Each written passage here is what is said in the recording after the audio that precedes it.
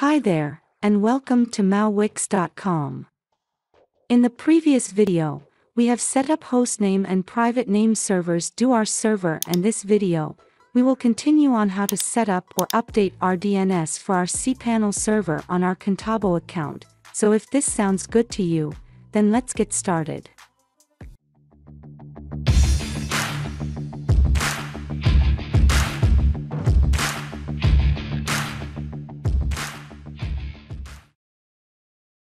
First, let's go ahead and log into our server provider where our server is hosted at, and in our case, it is on Contabo, so let's do it.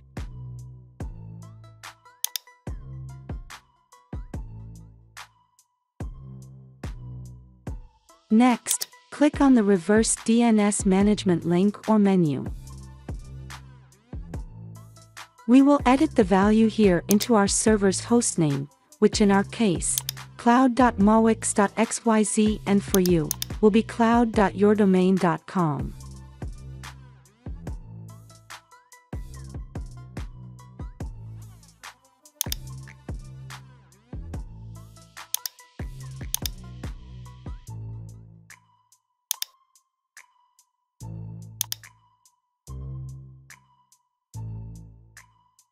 Now let's go ahead and check if our RDNS has been updated correctly to our hostname. To do this, let's open up our SSH client and log into our server via SSH.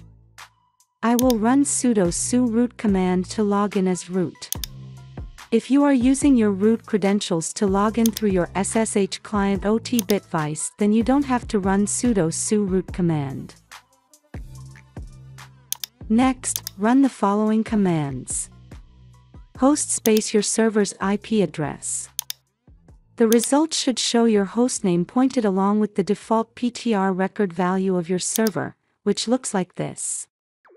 It is a reverse IP along with these characters which is pointed to your new updated hostname in which we have set up in our cPanel web host manager recently. If this don't show right for you, please leave a comment and I will personally help you with your concern further or you may also submit a question on our community support forums at community.mauwiks.com. Another way of checking that our RDNS has been updated correctly is in our cPanel slash WHM server slash to check on that, let's go ahead and log into our server. Then we go and navigate to the email deliverability section. Then let's check our DNS result if it is valid or else, troubleshoot using the instruction given, if any. Here is our RDNS section to check. Looks like it's valid as you can see. And that should be all for this tutorial video. In the next video for this course, we will continue on the other tasks as mentioned here on our notepad.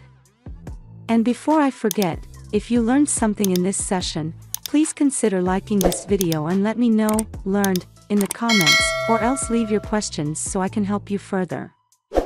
And stay tuned in my next video because I will shout out or mention people randomly from the top 10 comments in my videos. Until next time, take care.